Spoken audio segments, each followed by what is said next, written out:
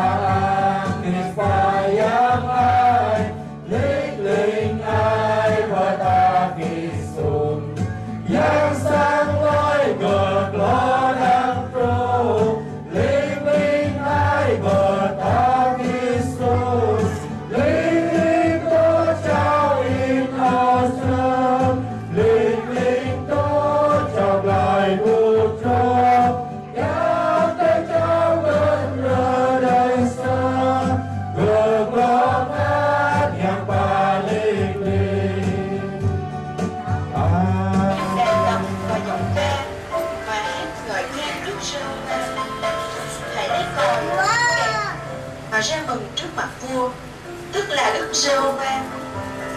Nguyện biển và muôn vật ở trong biển, thế gian cùng những người ở trong thế gian đều nổi tiếng ồn ào lên.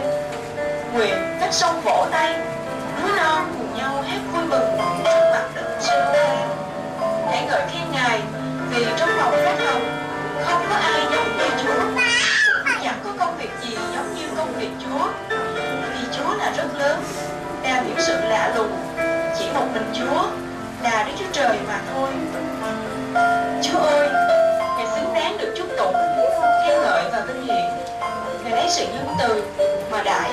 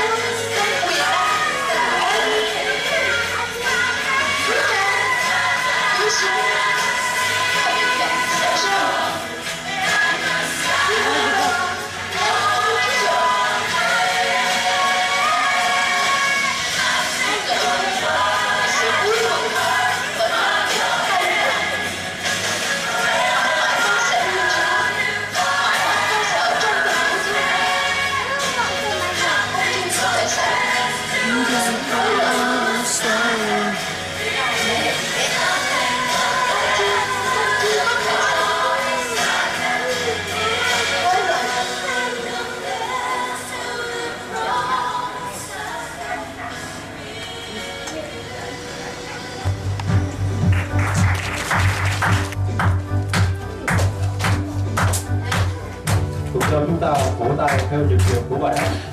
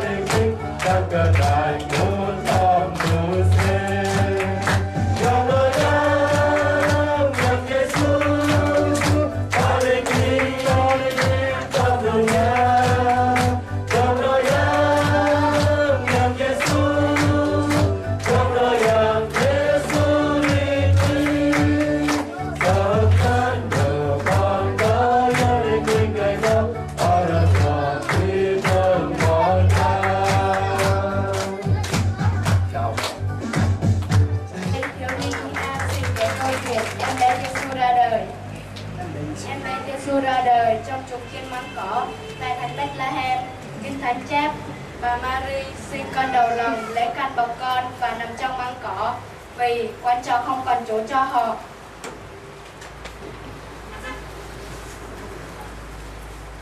Em thiên tiên, em thiên sử đón tin Chúa Cứu đã ra đời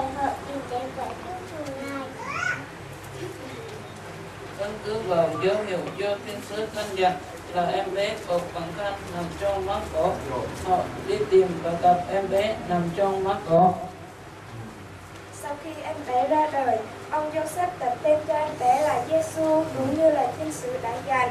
Ông Joseph và bà Mary bồng em bé Giêsu đến đền thờ Jerusalem để dâng cho Đức Chúa Trời.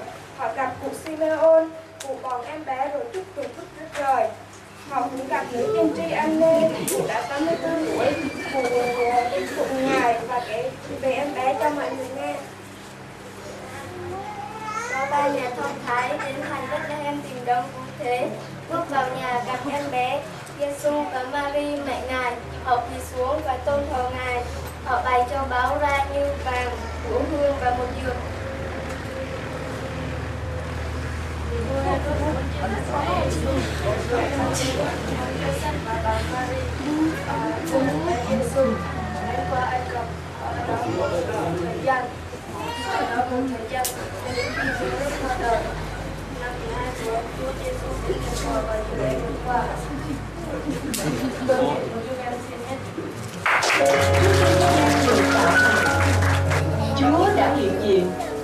vượt trên hết mọi quyền bính, vinh hiển của vua chúa, thiên nhiên và mọi tạo vật. Không điều chi có thể đo lường được sự quý báu của mình. Như một bông hồng bị dẫm đạp trên đất, Ngài đã bằng lòng chịu đau đớn, xin chê và cô đơn trên học tự giá.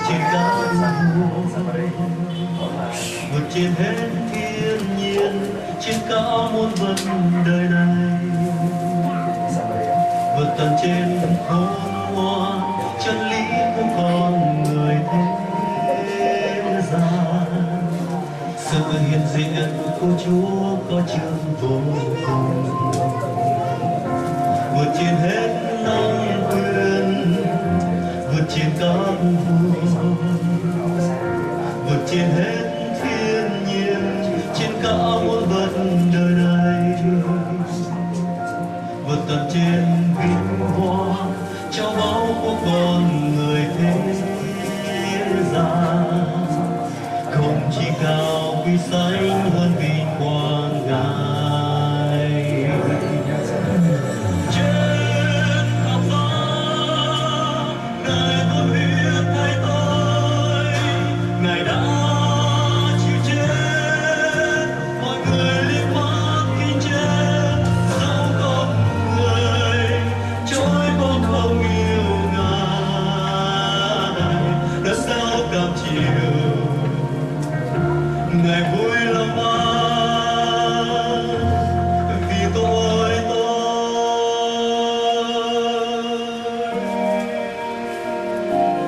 Senin